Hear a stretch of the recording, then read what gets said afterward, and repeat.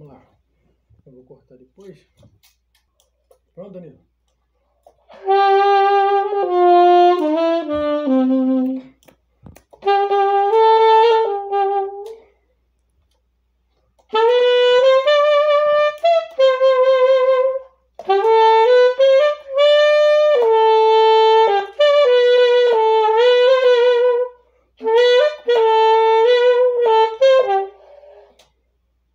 Apertou aqui, meu filho, pra quê?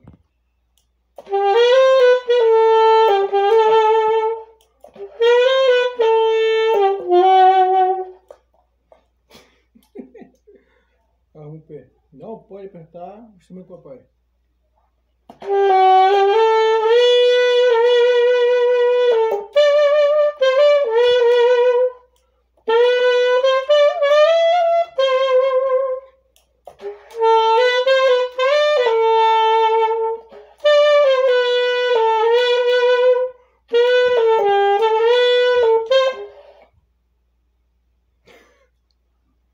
Tira tocar aqui.